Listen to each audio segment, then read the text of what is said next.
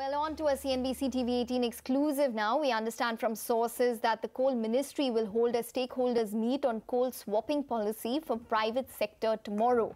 Anshu Sharma joins in with all the details on this exclusive story. Anshu, hi, go ahead.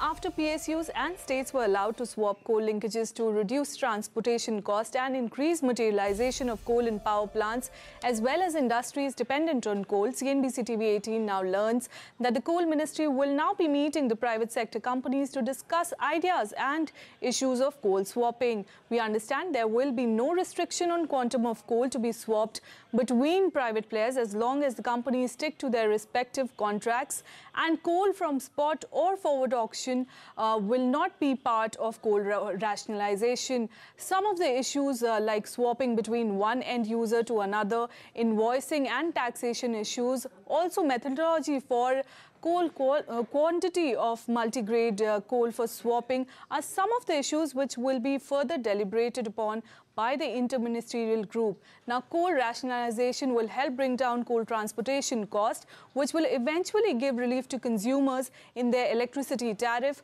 But for the non-regulated sectors like steel, aluminium, cement and others, the benefit will have to be passed on to the railways. Now, so far, 61.08 million ton of coal has been rationalized with an annual potential savings of about 3,651 crore. Back to you.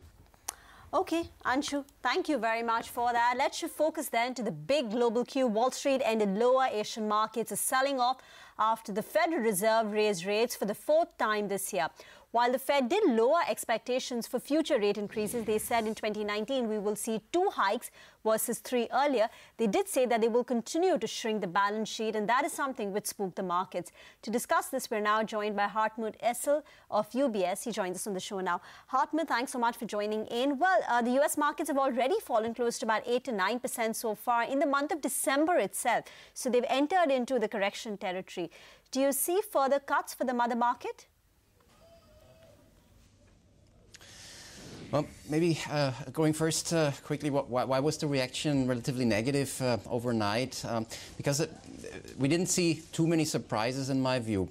so we, we saw a you know, little bit for everybody, also for the for the bulls or for the doves, if you will. So essentially an indication that um, the the pace that we have pretty much every quarter is a hike of the last two years. That that phase is already coming to an end.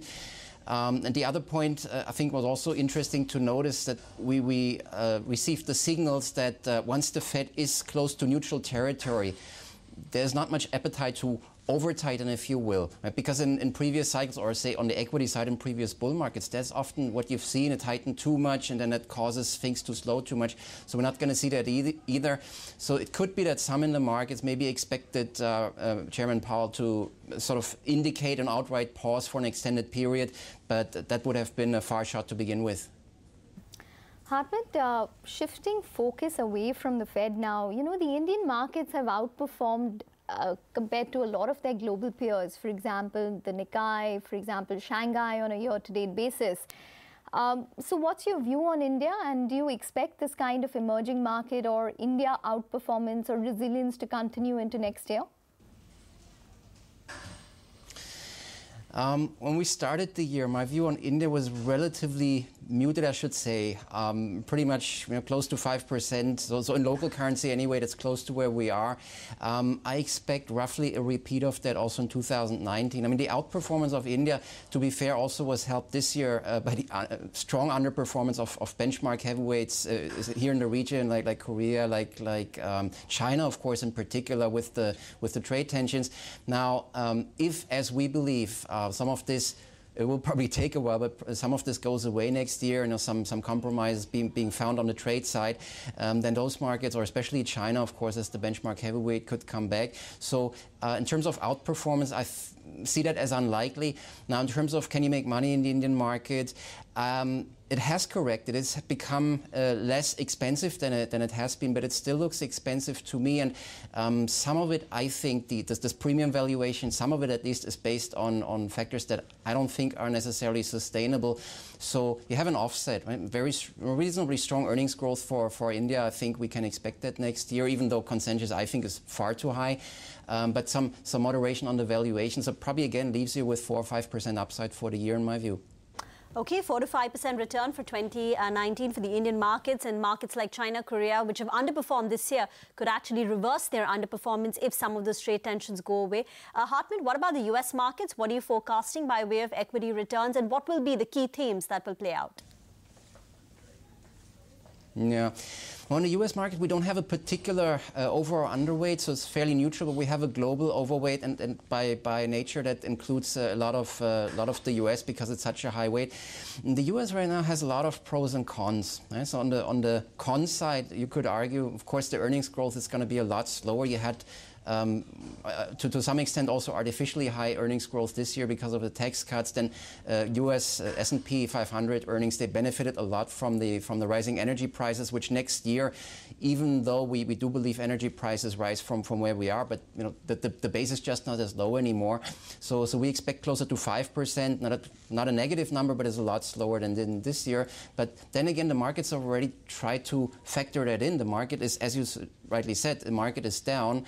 This year we had 25% earnings growth. You put another 5% on next year. So the market has derated quite sharply. That leaves you kind of in a, in a position where you don't regionally want to overweight it, but you want to still participate. You want to be part of that. In terms of the themes or the sectors we, we uh, try to explore there is, uh, is value, mostly value. So especially energy and also financials.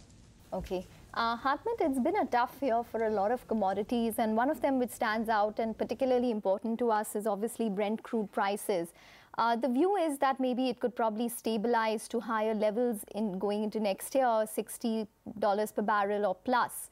Uh, what's your view? Yeah, we're a bit surprised how uh, uh, how low oil has uh, has come in the meantime. So we, we do think it will rebound.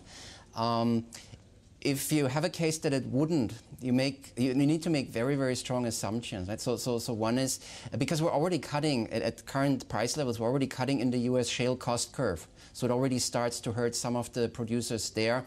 Um, so which then normally when that happens also curtails with with a few months uh, delay naturally curtails um, their supply. And the second assumption you have to make is that uh, OPEC plus I should call it so the OPEC maybe Russia etc.